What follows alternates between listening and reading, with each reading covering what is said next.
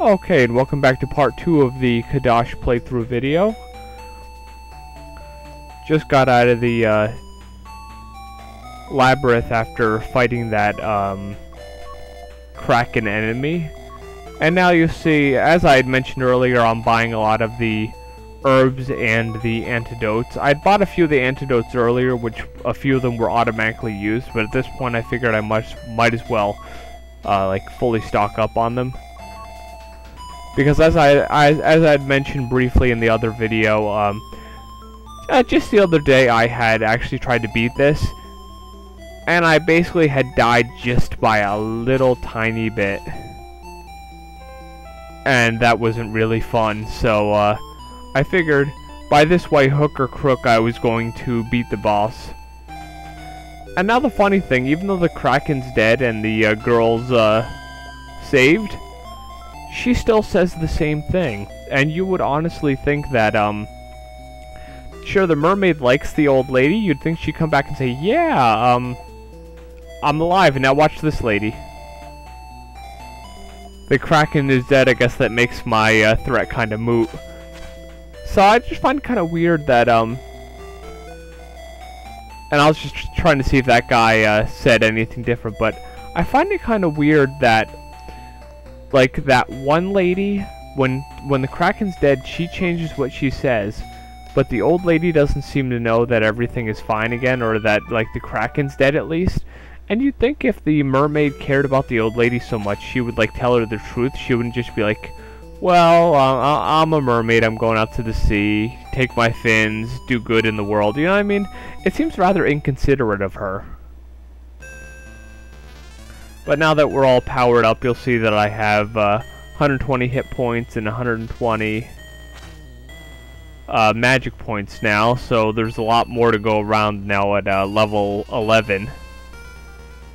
So it makes a lot, uh, a few things a lot easier, but the only thing to keep in mind is there are 20 levels in this game in total that you can earn by getting experience, so it's not like anything is going to really slant the game so badly in your favor that you're going to break it. Well, unless for some reason you're you're such a masochist that you uh, spend like three hours in the first scene with the pig guys and get up to level 20. Then I'd imagine like the whole game would kind of be a bit off kilter because you basically would be facing level one, level one to five enemies, and you would be. Uh, and I I really just didn't even mean to go in there at all. But you'd basically be facing level 1 or 5 enemies and uh, you would be level 20. That's the only way to really slant this game in your favor that much. But now we're going to move on to the uh, third continent, if you will. Since like the, the place with the pig guys was the first, the place with the uh, guys that throw the bones was the second, and now this is the third continent. And now these are the gnomes. Now the ones with the sacks on their back kind of remind me of, if you ever played Golden Axe, when you go into the uh, thing between levels, there's these little squirrels, or maybe even they're gnomes, I'm not really sure, but I always thought they looked like squirrels with like sacks on their back, and that's what these guys remind me of. And of course, if you saw that precipice that I was trying to climb up before, it uh, there's no way I could get up, and that gnome back there told me what I need to know, that I get this uh, string from this worm, and I'll be able to climb up. And now this is another thing I'm doing here to uh, kind of ensure I'll actually win the game, is buy as many of these like horns as possible. Or was it a bell? Yeah, it's a bell. As possible, and uh, boost my health as much as I possibly can. So, there's very little chance I will die due to uh, running out of health. But another thing that this uh, this Chovin guy told me is that um, there's a way to the other side of the there's a way to, to the other side of the what do you call it the uh, forest which uh, is said to be unpassable by just simply um, going past that precipice. But, you know, it's one of those underhanded things. It's like, yeah, if you want to get where you're going, you're gonna have to kill our worm, so... Yeah, it, it, it benefits them, of course.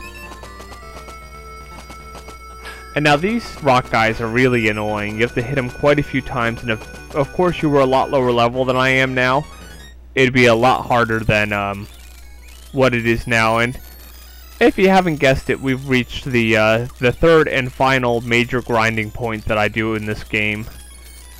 And if you're wondering, this this uh, whole like grinding thing that I do in these uh, first two videos at least, I worked that out within maybe two or three days here, figuring out how's the best way to level up. I kind of did the uh, get level 5 in the first uh, part there, like the first time I had played it again after so much time. But these other grinding things I kind of figured out, because they were just places you could easily level up. And I got from level 11 to level 16 here.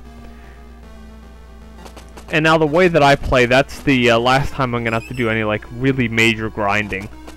There's a couple of points here and there. I believe you'll see one of them in like the fourth video where there are like a bunch of uh, dragons and I kill a few of them so I can get up to level 19. But that's just about all I do for even like the minor grinding in this.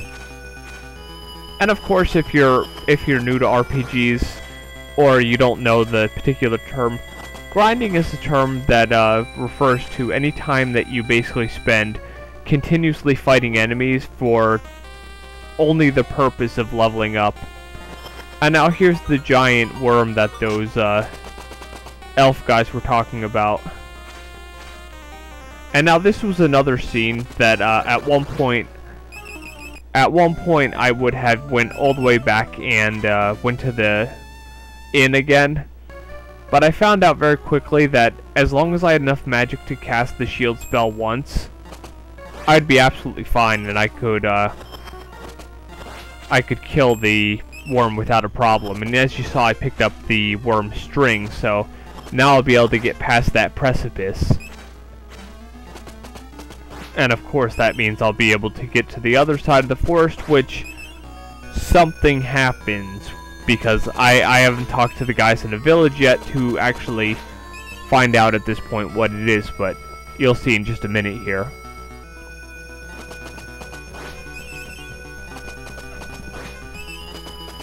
And now I might uh, quickly touch on uh, the graphics of this game. Now the graphics of this game for the TurboGrafx, in my opinion are really good. Are they as good as the Sega Genesis version or the arcade version? No, but I honestly think they have their charm.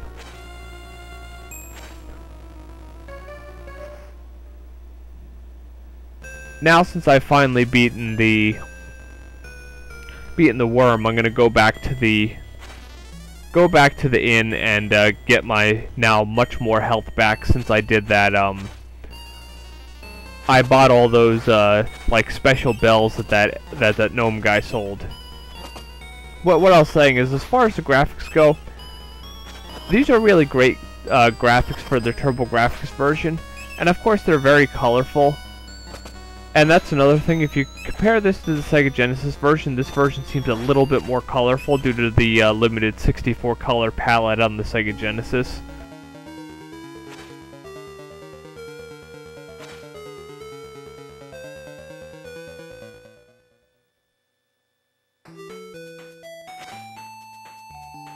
And now back at the town, not a single thing has changed at all because of course these townspeople had nothing to do with that worm, so they're not to say, "Yay, you uh, you killed the worm," which we don't know about because we don't live where the gnomes live. And as I'd mentioned in the previous video, unlike the arcade version, this version doesn't do the thing where uh, your inns increase in price every time you use them.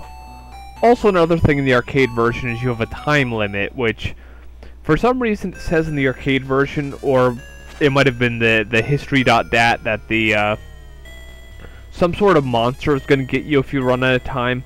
I have not personally tested that, but I'm sure I will once I do the main review on it. But it just, considering like how much freedom I feel I have with this version, it just feels kind of weird to be under a time constraint in the arcade version. That's something I have to definitely say I don't like about the arcade version, but of course, the graphically the Genesis version comes a little bit closer to uh, the arcade than this. Plus, I believe a few of the, the levels are like really rearranged here as compared to the arcade level levels as well. But all in all, this is a very good conversion.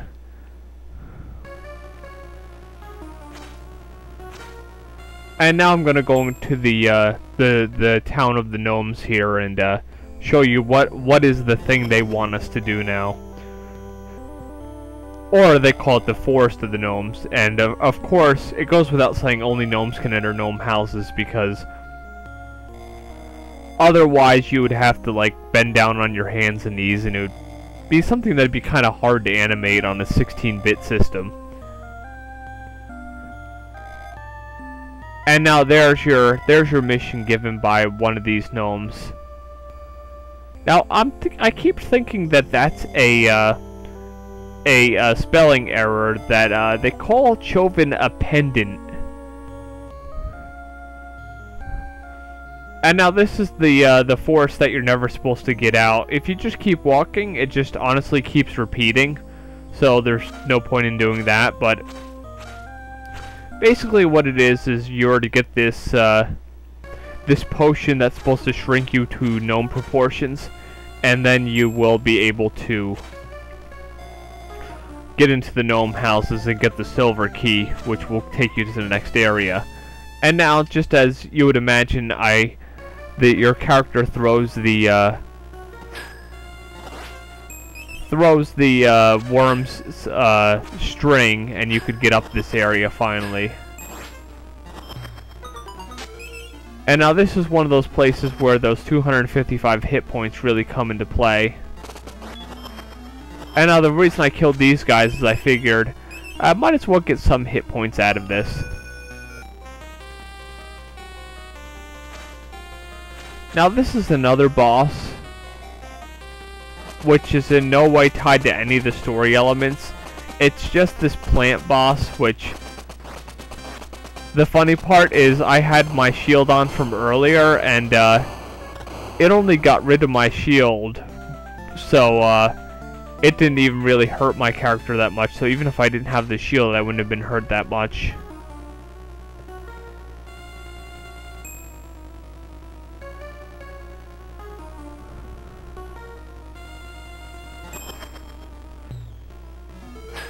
And now, if anybody knows this, I honestly would be curious how you actually kill these, these blue spiny creatures.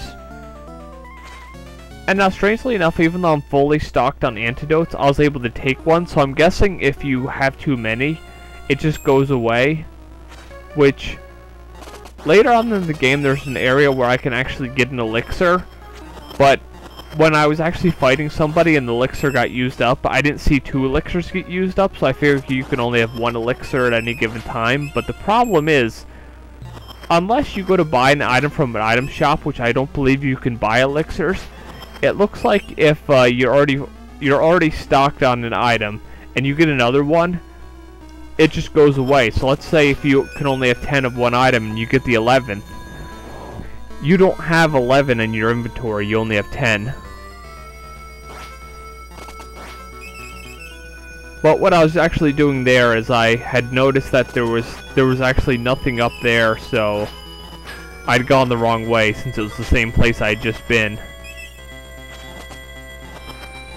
You'll notice now and then in this footage I will use the shield because that really helps for a lot of these enemies that take out a lot of health or they just tend to be really annoying and hard to hit. Especially anything that flies. Although the weird thing is, those are actually supposed to be harpies, but they actually look like some sort of weird flying deer or lamb or something. So I guess that wasn't the, the best of sprites that they made. Now here's the parts I was looking for. Uh, maybe like a like a half like like more of a hawk than a harpy. But um oh well, I guess that's how they uh, they tried to make it look like a harpy from the arcade game. And now there's a slight bit of this like platforming. If you remember on the first continent, I had that place where I had to jump over the water. Which wasn't really a big deal, so uh, there's a couple of other little platforming areas, but the good thing is, since the jumping isn't really all that great in this game, at least jumping isn't uh, a big deal here. But now I'm going to go on to the, uh, the actual other side of the forest, so I'll see you in the next part of this video.